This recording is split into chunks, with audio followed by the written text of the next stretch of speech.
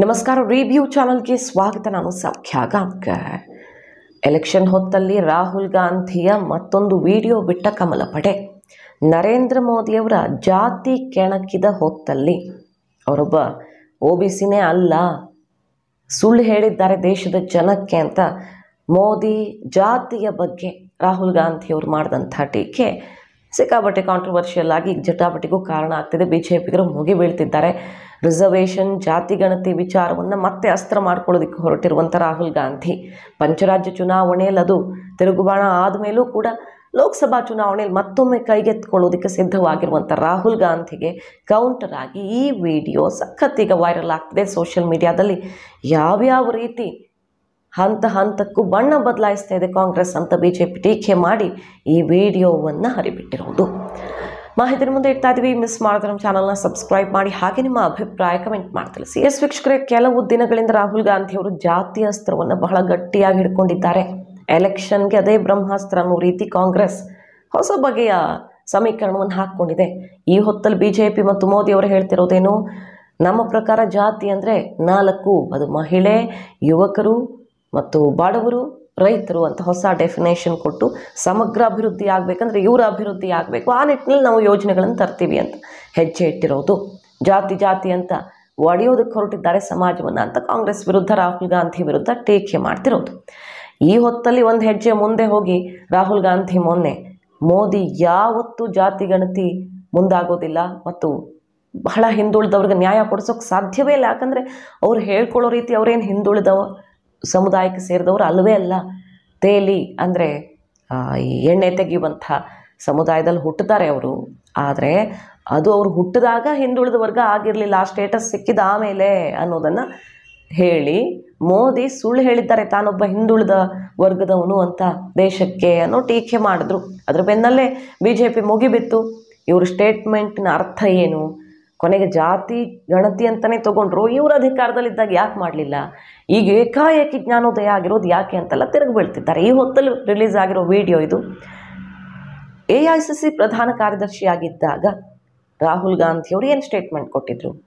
ನನಗೆ ಜಾತಿ ಅನ್ನೋದ್ರಲ್ಲಿ ನಂಬಿಕೆಯೇ ಇಲ್ಲ. ವೈಯಕ್ತಿಕವಾಗಿ ನಾನು ಈ ಜಾತಿ ಅನ್ನೋದನ್ನೇ ನಂಬೋದಿಲ್ಲ ಅಂತ ಹೇಳಿದ್ದ ವ್ಯಕ್ತಿ ಕೆಲವೇ ಕೆಲವು ವರ್ಷಗಳಲ್ಲಿ ಹೇಗೆ ಚೇಂಜ್ ಆಗಿದ್ದಾರೆ ಜಾತಿ ಹೆಸರಲ್ಲಿ ಹೇಗೆ ರಾಜಕಾರಣ ಮಾಡ್ತಿದ್ದಾರೆ ನೋಡಿ ಅಂತ ತಿರುಗೇಟ್ ಕೊಟ್ಟಿರೋದು I not I personally don't believe in the caste system I believe that whether you're a Dalit or a you're the same.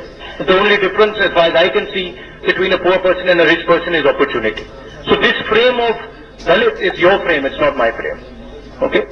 My frame is that every ಅವತ್ತಿನ ಮಾತಿಗೂ ರಾಹುಲ್ ಗಾಂಧಿಯವರ ಇವತ್ತಿನ ಮಾತಿಗೂ ಯಾವ ರೀತಿ ಅಜಗಜಾಂತರ ವ್ಯತ್ಯಾಸ ಅದನ್ನೇ ಮೋದಿ ಅವರು ಮೊನ್ನೆ ಬಜೆಟ್ ಸೆಷನ್ ಸ್ಪೀಚಲ್ಲಿ ಆಡಿದ್ದು ಯಾರು ಹೇಳ್ತಿದ್ದಾರೆ ನೋಡಿ ಜಾತಿ ರಿಸರ್ವೇಷನ್ ಬಗ್ಗೆ ನೆಹರು ಅವರು ಇದಕ್ಕೆ ಕಡು ವಿರೋಧಿಯಾಗಿದ್ದರು ಪತ್ರ ಬರೆದು ಮುಖ್ಯಮಂತ್ರಿಗಳಿಗೆ ಇದರ ವಿರುದ್ಧ ಇನ್ಸ್ಟ್ರಕ್ಷನ್ ಕೊಟ್ಟಿದ್ದು ಅಂತೆಲ್ಲ ನೆನಪು ಮಾಡಿಕೊಂಡ್ರು दलित पिछड़े और आदिवासी कांग्रेस जन्मजात उनकी सबसे बड़ी विरोधी रही है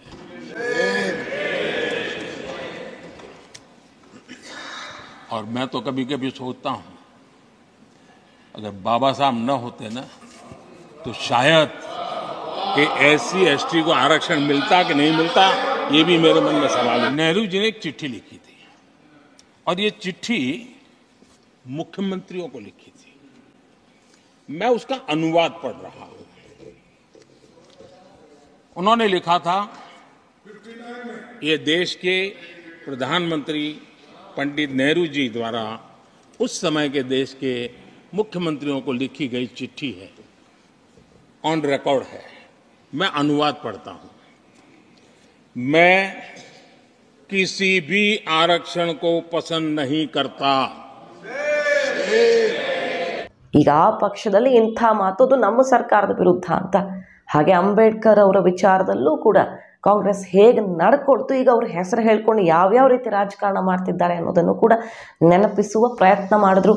ಅಂಬೇಡ್ಕರ್ ಅವರ ನಿಲುವಿನಿಂದಾಗಿ, ಅವರಿಂದಾಗಿ ಹಿಂದುಳಿದವ್ರಿಗೆ ದಲಿತರಿಗೆ ಬಲ ಸಿಕ್ತೆ ಬಿಟ್ಟರೆ ಕಾಂಗ್ರೆಸ್ನ ನಾಯಕತ್ವ ಯಾವ ರೀತಿ ನಿಲುವನ್ನು ಹೊಂದಿತ್ತು ಮತ್ತು ಯಾವ ರೀತಿ ನಡ್ಕೊಂಡಿತ್ತು ರಿಸರ್ವೇಷನ್ ಮತ್ತು ಅವ್ರಿಗೆ ನ್ಯಾಯ ಕೊಡಿಸೋ ವಿಚಾರದಲ್ಲಿ ಅನ್ನೋದನ್ನು ನೆನಪಿಸ್ತಾರೆ. ಅಂತಹ ಅಂಬೇಡ್ಕರ್ ಅವರನ್ನು ಕಾಂಗ್ರೆಸ್ ಹೇಗೆ ನೆನಪು, ನಡೆಸ್ಕೊಂಡಿತ್ತು ಅನ್ನೋದನ್ನು ಕೂಡ ಟೀಕಿಸಿದ್ರು. बाबा साहब की राजनीति को, बाबा साहब के विचारों को खत्म करने के लिए कोई कसर उन्होंने छोड़ी नहीं है।